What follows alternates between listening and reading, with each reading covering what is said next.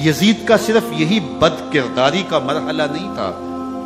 उस करबला के सहरा के अंदर यजीद ने जिस तरह इमाम हुसैन रज़ी अल्लाह तु को शहीद किया और हज़रत इमाम हुसैन के खानदान को शहीद किया, जब मदीनातुल मुनवरा पर यजीद ने मुस्लिम बिन उकबा को मुकर किया, जिसको बुज़ुर्गों ने मुसरफ बिन उकबा कहा है तो उसको कहा, तीन दिन तक मदीने का हरम तुम्हारे लिए हलाल होगा, जो चाहो तुम करना, और शामी फौजों को इजाज़त होगी तो वहाँ भी उन्होंने दस हज़ार ताबेन और सात सौ सिहाबा को शहीद हज़रत अबू सईद खुदी रदी अल्लाह घर से बाहर निकले, काफ़ी बूढ़े हो चुके थे।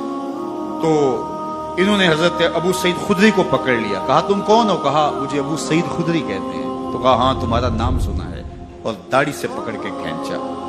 और कहा कि है तुम्हारे पास जो हमें दो। तो कहा कि मेरे पास तो कुछ भी नहीं, मैं तो फकीर आदमी। तो उनके घर उनको ले गए। तो दो कबूतर रखे थे हज़रत अबू सईद खुदरी ने।